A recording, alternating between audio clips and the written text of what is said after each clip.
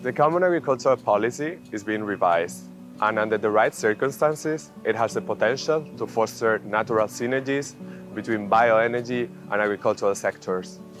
We think that the CAP should encourage the supply of bioenergy from agriculture and forestry while promoting the use of bioenergy on farms and rural areas.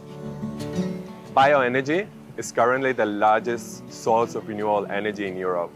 With only 5% of imports, our sector contributes to climate change mitigation while providing jobs, growth and additional income for farmers in the EU.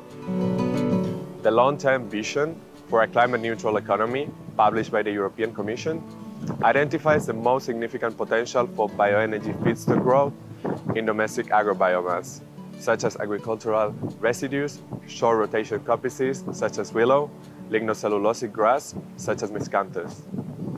At present, agrobiomass to energy potential is largely unexploited due to mobilization issues. An appropriate legislative framework could improve the situation and we have some suggestions for policymakers. In the post-2020 Common Agricultural Policy, the rural development budget should be at least maintained in real terms. Measures to adequately mobilize biomass and to improve sustainability of farms are key to meet EU climate and energy policy target. Secondly, support synergies between agriculture and bioenergy. Valorizing agrobiomass by using it for energy purposes provide income diversification for farmers, socioeconomic development at a local scale, and a clean source for farms, agro-industries and rural communities' own energy requirements. Thirdly, recognize perennial energy crops' environmental benefits.